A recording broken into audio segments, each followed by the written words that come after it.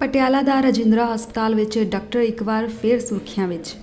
ਜੀ ਹਾਂ ਮਰੀਜ਼ ਦੇ ਪਰਿਵਾਰ ਦੇ ਮੈਂਬਰ ਦੀ ਮੰਨੀਏ ਤਾਂ ਉਹਨਾਂ ਦੇ ਮੈਂਬਰ ਵੱਲੋਂ ਆਪਰੇਸ਼ਨ ਕਰਵਾਇਆ ਗਿਆ ਸੀ ਤੇ ਜ਼ਖਮ ਨੂੰ ਜਲਦ ਸਕਾਉਣ ਲਈ ਜਿਹੜੀ ਦਵਾਈ ਦਿੱਤੀ ਸੀ ਉਹ ਦਵਾਈ ਦੀ ਮਿਆਦ ਖਤਮ ਹੋ ਚੁੱਕੀ ਸੀ। ਇਸ ਗੱਲ ਦੀ ਜਦੋਂ ਇਹਨਾਂ ਨੇ ਰਾਜਿੰਦਰਾ ਹਸਪੀਟਲ ਦੇ ਉੱਚ ਅਧਿਕਾਰੀਆਂ ਨੂੰ ਮਿਲ ਕੇ ਇਸ ਦੀ ਸ਼ਿਕਾਇਤ ਕੀਤੀ ਤਾਂ ਤੁਸੀਂ ਹੀ ਸੁਣੋ ਉੱਚ ਅਧਿਕਾਰੀ ਕਿਹੜੀ ਭਾਸ਼ਾ ਵਿੱਚ ਬੋਲ ਰਹੇ ਹਨ। ਲਾਣੇ ਵਾਲੇ ਹੈ ਪੋਟੈਂਸੀ ਘਟਦੀ ਹੈ। ਅੱਛਾ ਜੀ। ਇਹਨੂੰ ਖਾਣਾ ਨਹੀਂ ਹੈ ਮੂੰਹ 'ਚ ਨਹੀਂ ਪਾਣਾ ਨਾ ਇਹਨੂੰ ਡ੍ਰਿਪ ਚਲਾਉਣਾ ਨਾ ਇਹਦਾ ਟੀਕਾ ਲਾਣਾ ਇਹਨੂੰ ਤਾਂ ਲਾਉਣਾ ਜੇ। ਜੇ ਪੋਟੈਂਸੀ ਵਿਦਨ ਦਾ ਪੀਰੀਅਡ ਹੋਏਗੀ ਤਾਂ 100% ਹੋਏਗੀ। ਹੁਣ 90% ਹੋਏਗੀ। ਤੁਹਾਨੂੰ ਫ੍ਰੀ ਦੇ ਰਿਹਾ ਕਿਵੇਂ ਕੰਮ ਕਰੇ ਡਾਕਟਰ ਆਪਕੋ ਬਿਨੋ ਕੰਪਨੀ ਦਾ ਡਾਕਟਰ ਤੁਹਾਡੀ ਮਦਦ ਕਰਦੇ ਆ ਕਿ ਤੁਸੀਂ ਉੱਪਰ ਦੀ ਉਹਨੂੰ ਸ਼ਿਕਾਇਤਾਂ ਲਾ ਚਲੋ ਚਲੋ ਬੇਟਾ ਹੁਣ ਮੈਨੂੰ ਕੰਮ ਕਰਦਾ ਕਿੰਨੇ ਮੇਰੇ ਮਰੀਜ਼ ਖੜੇ?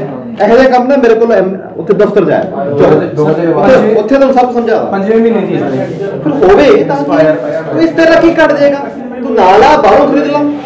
ठीक है ਤੂੰ ਗਨ ਤਾਂ ਮੁਫਤ ਮਿਲੀ ਆ ਤੂੰ ਨਾਲ ਆ। ठीक है सर थैंक यू ਬਾਹਰ ਚਲਾ ਜਾ ਬਾਹਰ ਜਦੋਂ ਇਸ ਸਾਰੇ ਮਾਮਲੇ ਨੂੰ ਪਰਿਵਾਰਿਕ ਮੈਂਬਰ ਪਟਿਆਲਾ ਦੇ ਡਿਪਟੀ ਕਮਿਸ਼ਨਰ ਕੋਲ ਲੈ ਗਏ ਤਾਂ ਕਮਿਸ਼ਨਰ ਸਾਹਿਬ ਨੇ ਇਸ ਗੱਲ ਨੂੰ ਗੰਭੀਰਤਾ ਨਾਲ ਲੈਂਦੇ ਹੋਏ ਕਿਹਾ ਕਿ ਅਗਰ ਲਿਖਤੀ ਰੂਪ ਵਿੱਚ ਮੇਰੇ ਕੋਲ ਕੋਈ ਸ਼ਿਕਾਇਤ ਆਵੇਗੀ ਤਾਂ ਮੈਂ ਜੋ ਬੰਦੀ ਕਾਰਵਾਈ ਹੋਵੇਗੀ ਉਹ ਮੈਂ ਕਰਾਂਗਾ पेमेंट तो नहीं तो मेरे पास आया तो है नहीं बट जो मुझे वीडियो आप लोगों ने आपकी तरफ से जो हमें एडमिनिस्ट्रेशन की तरफ आई है उसमें यही समझ आता है कि कहीं ना कहीं कुछ ना कुछ इश्यूज़ हैं अगर इस तरह का कोई दिक्कत है इसको ज़रूर जो है हम लोग हाई लेवल पे टेकअप कर सकते हैं। और अगर इस तरह की एक्सपायरी डेट की दवाई अगर दे रहे हैं, वो तो सरासर गलत है जी।